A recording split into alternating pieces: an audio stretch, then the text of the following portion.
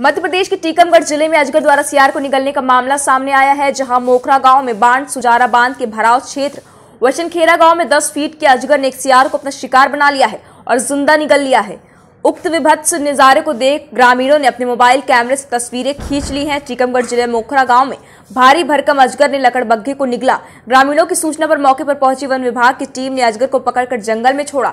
दरअसल बाड़ा गाँव वन परिक्षेत्र अंतर्गत मोखरा गाँव से लगे जंगल में करीब 10 फुट लंबे अजगर सांप को देख ग्रामीणों में हलचल मच गई। और जानकारी लगते ही बड़ी संख्या में गाँव के लोग सहित वन विभाग की टीम मौके पर पहुँची, जहाँ देखा कि एक अजगर सांप ने जंगली लकड़बग्घे को अपना शिकार बना डाला है।